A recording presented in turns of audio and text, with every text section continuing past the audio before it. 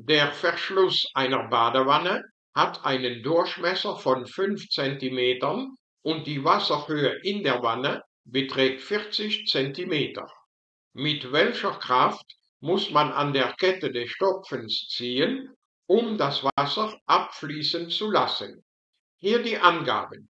Der Durchmesser von dem Stopfen beträgt 5 cm, sein Radius also 2,5 cm, das heißt 0,025 Meter.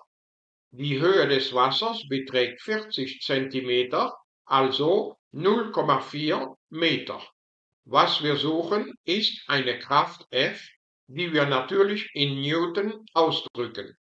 Und um diese Kraft F herauszufinden, nutzen wir diese zwei Formeln, in denen das klein g 9,81 Newton pro Kilogramm beträgt.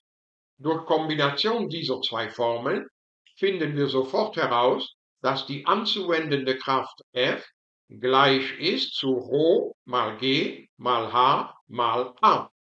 So.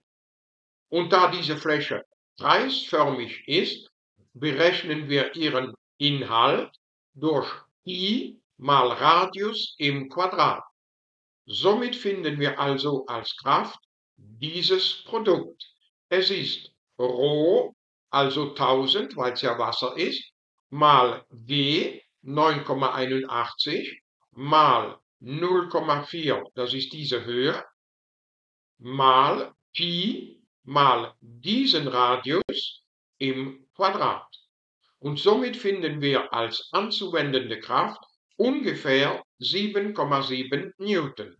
Die Endantwort auf die gestellte Frage lautet also die anzuwendende Kraft beträgt ungefähr 7,7 Newton.